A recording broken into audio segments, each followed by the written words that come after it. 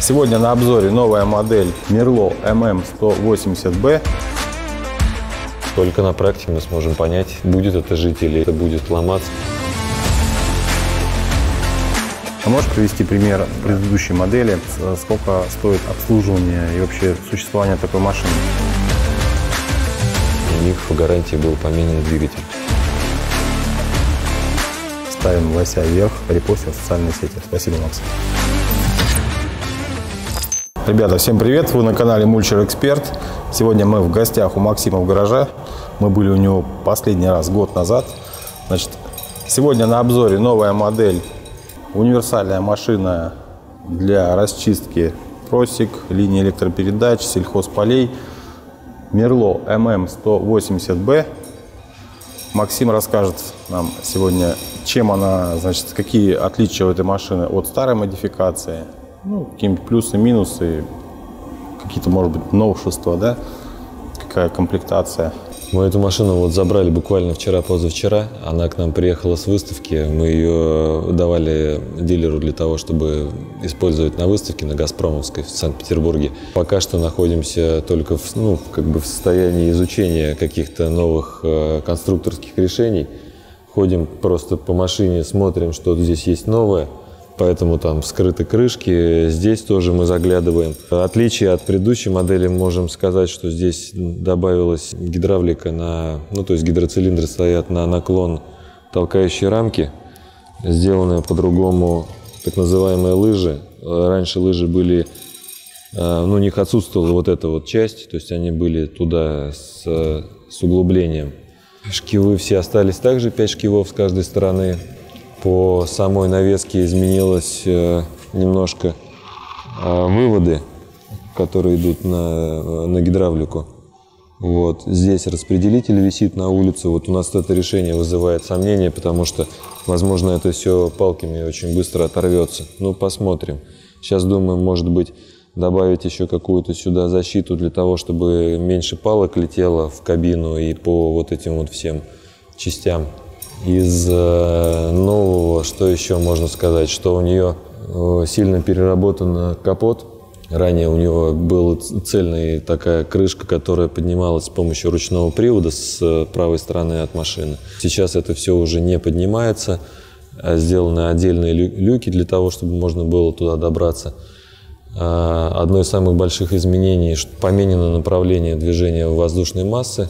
То есть, если раньше у нас забор воздуха происходил сзади через радиатор и охлаждался вперед, то сейчас а, изменение произошло наоборот. Это, с одной стороны, хорошо, потому что там площадь радиатора больше находится, но минус в том, что самый грязный воздух, как мы знаем, он находится ближе к фрезе, и э, засос, ну, подача воздуха будет происходить отсюда.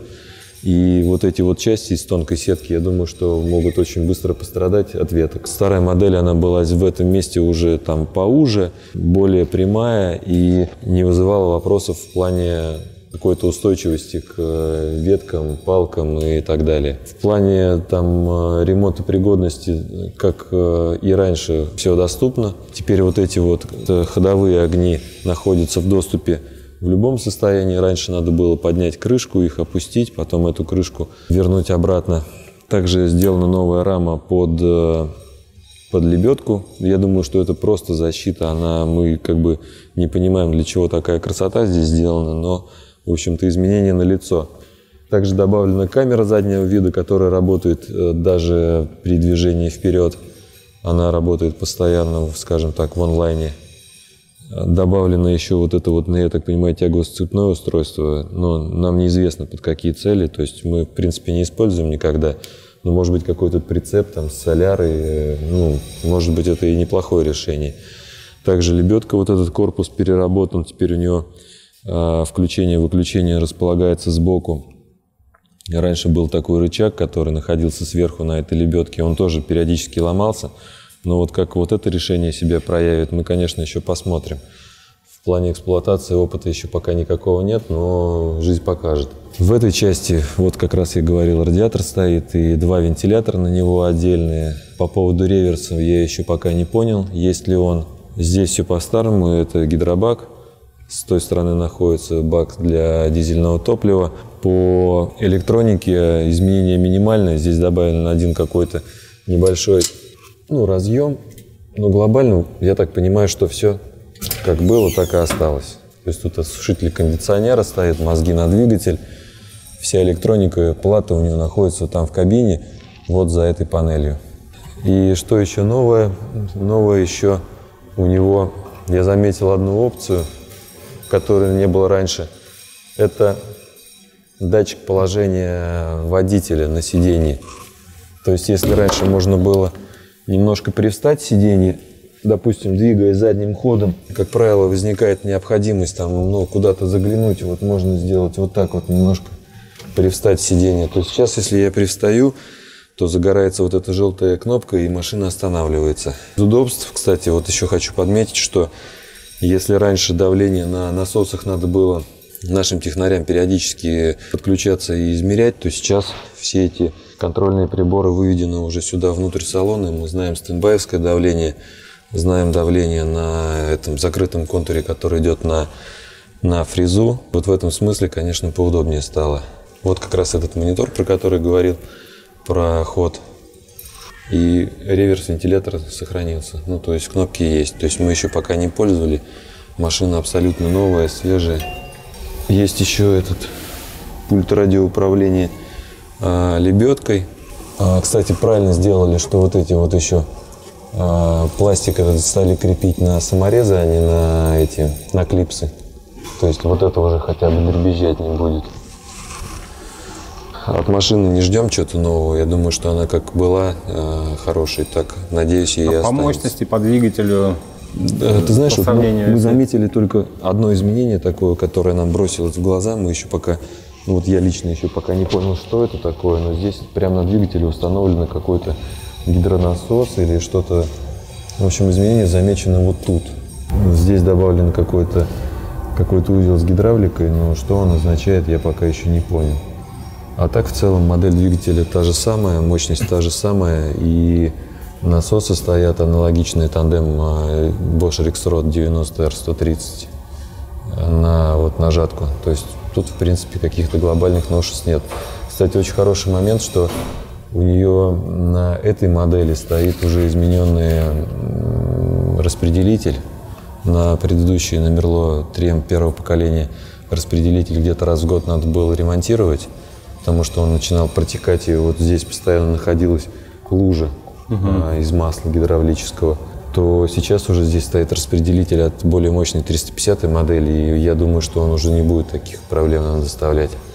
Резина уже специализированная идет также? Да, это Nokia многослойная. Она, кстати, на предыдущих машинах была еще э, комплектовалась э, колесами 28 радиуса. Они поуже и повыше. И это положительно влияло на, на проходимость она нам больше нравится. Но здесь вот нам поставили с 26 резины, и как бы, ну, она, наверное, неплоха, но можно было бы, конечно, и 28 ну, В процессе эксплуатации, я думаю, через какой-то период мы встретимся, и Максим расскажет, как все да, эта машина да, Да. Максим, а я еще заметил на фрезе у тебя, значит, одной лапы вот недостаточно, э, она сейчас у тебя отсутствует. Ну, а, крепеж, крепеж. Да, да, да. Мы вот это, ну, вот эту запчасть мы называем ляжкой на своем угу. жаргоне. А, вот это называем плитой, переходной плитой.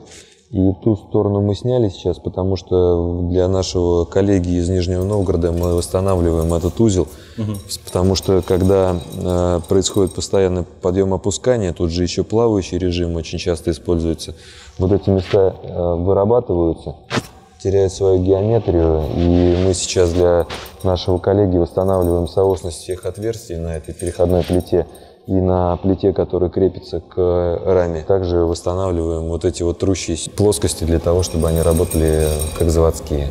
Для а этого на, сняли. Еще такой вопрос. На предыдущей модели защита фар стоит или не стоит? Да-да-да, все стоит такое так, же. Так, Только да? вот эти фары добавлены, кстати. Раньше таких фар не было. Вот эти фары только... В дневную смену поставили, допустим, в день до работы, они да, защищены. Да, да. Но в принципе нам даже того света хватает. То есть мы их крайне редко снимаем, может быть, там по какой-то очень там большой необходимости или если работаем в условиях, где э, минимальные риски повреждений.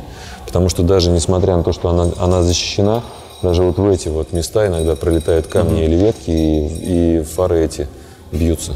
целом, в общем, машина для нас пока еще не очень понятная вот в этих именно новых моментах. Вызывает вопросы некоторые, это вот эти всякие пластиковые вещи, которые обычно при наезде палки, они лезут, все это отрывают.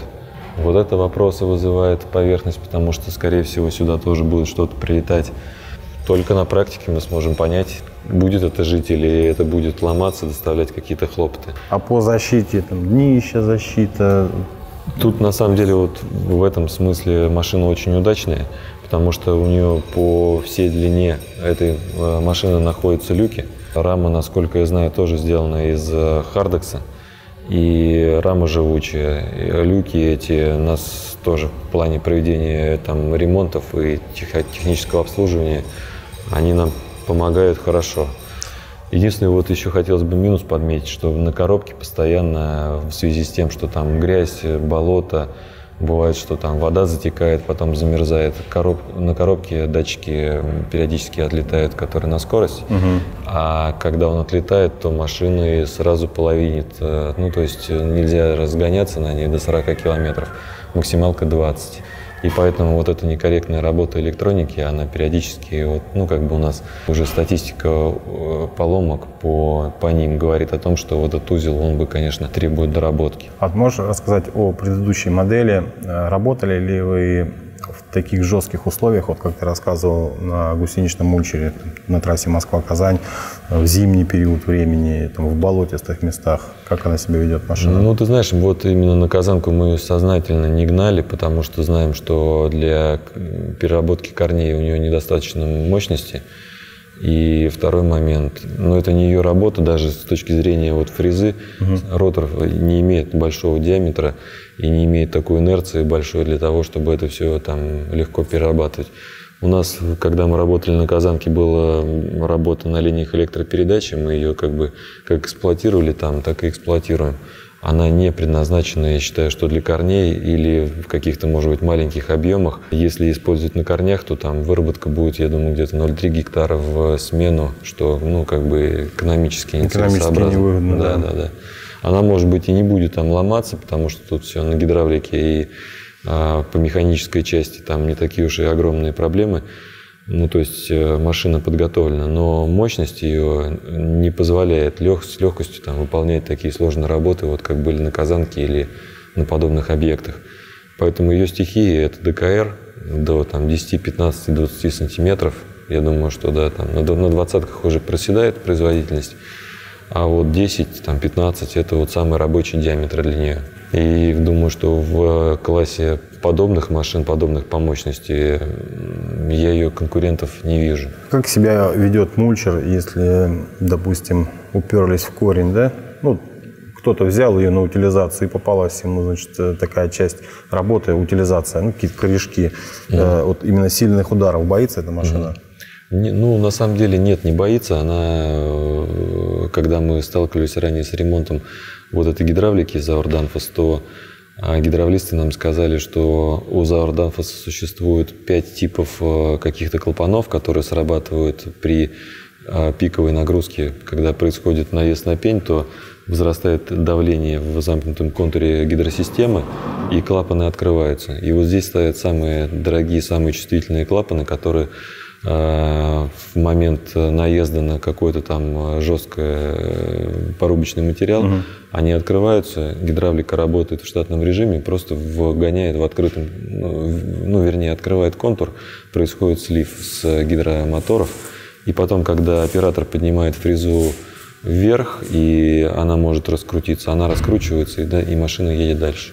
А можешь привести пример, значит, ну, по предыдущей модели, ну, плюс-минус, э, сколько, значит, стоит обслуживание и вообще существование такой машины, там, ремонты, резина, стекло, там, ремонт, допустим, двигателя, если приходилось делать. Да, движки, они, вот эти дойцы у нас где-то в районе 7 тысяч живут. 7 тысяч моточасов, да? Да, ремонт э, мы делаем у хороших, грамотных ребят здесь, в Егорьевске.